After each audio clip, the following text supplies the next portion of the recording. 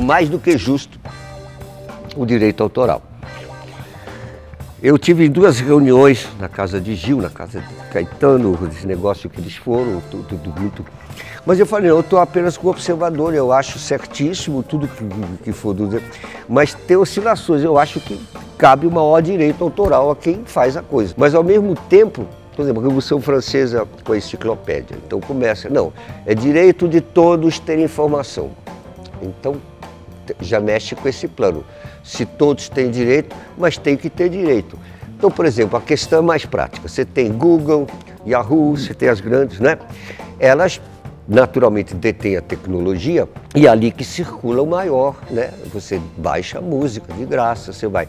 Mesmo assim, começaram, acho que 1% ou 2% das músicas devidas que todo mundo baixa no mundo começaram a se refletir no primeiro pagamento que eu tive há seis meses atrás da SBAC, da ICAD, que, que, que funciona, que foi a primeira vez. Agora, essa questão dos direitos autorais, eu acho que os, o autor, a autora tem todos os direitos. Agora, é uma luta que eu chamo muito importante, mas ela é ela vai se desenvolver, é uma coisa setorial para mim, que, que eu acho importantíssimo, né, porque eu vivo de direitos também, mas ao mesmo tempo, então, por exemplo, meus livros ainda estão dando direitos, né? Eu podia publicar no meu portal para ser gratuito, mas ainda não, ganhar um pouquinho, porque eu preciso.